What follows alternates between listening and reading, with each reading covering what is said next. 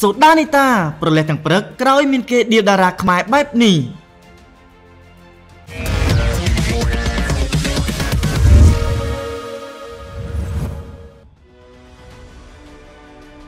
នៅក្នុងពេលនេះមិនថាតែអ្នកសិល្បៈ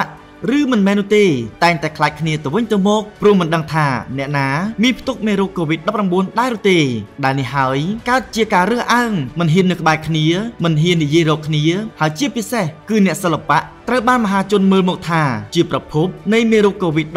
តែម្ដងដោយឃើញសភាពការមិនស្រួលបែបនេះនៅថ្ងៃទី11ខែមិនិនាឆ្នាំ2021ម្សិលមិញនេះអ្នកនាងសូដានីតាបានបង្ហោះសារអធិប្បាយយ៉ាងវែងពាក់ព័ន្ធទៅនឹងរឿងនេះដោយនាងសង្កត់ធ្ងន់ថាខ្ញុំបានលើម្សិលមិញនៅមន្ទីរពេទ្យមួយម៉ាត់ថាឲ្យតែឃើញតារាគឺខ្លាចហ្មងឥឡូវខ្ញុំក៏ជាតារាតែខ្ញុំអត់បានកើតបងប្អូនដាក់សម្ពាធនិយាយប្រយោលឲ្យខ្ញុំឮតែសួរថាអ្នកណាចង់កើត ហើយបើកើតហើយពួកគាត់ដែលកើតបានប្រកាសជាសាធារណៈហើយថាពួកគាត់កំពុងតែកើតកូវីដនិងពួកគាត់ក៏កំពុងទទួលបានការព្យាបាលពីគ្រូពេទ្យហើយ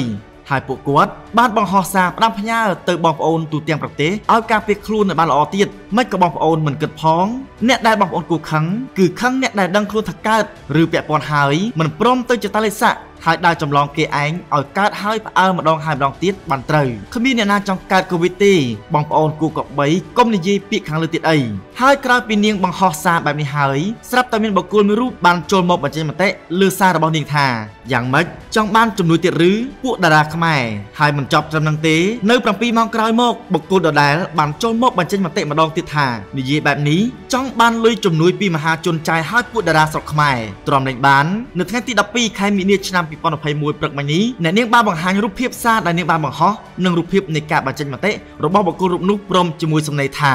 បងប្អូនសូមជួយអានបន្តិចថាតើឃ្លាមួយណាដែលខ្ញុំឬតារាខ្មែរចង់បានលុយឬជំនួយពីបងប្អូនដូចម្នាក់ឈ្មោះសម្បត្តិអក្សរានិយាយដូចជាមើងងាយពេកហើយសរសេរនិយាយជាភាសាខ្មែរតែមើងងាយតែខ្មែរគ្នាឯងមនុស្សអវិជ្ជាខ្សោយក្រមសិលធម៌លឹបក្បាលដូចអណ្ដើកមិនហ៊ានដាក់រូបពិត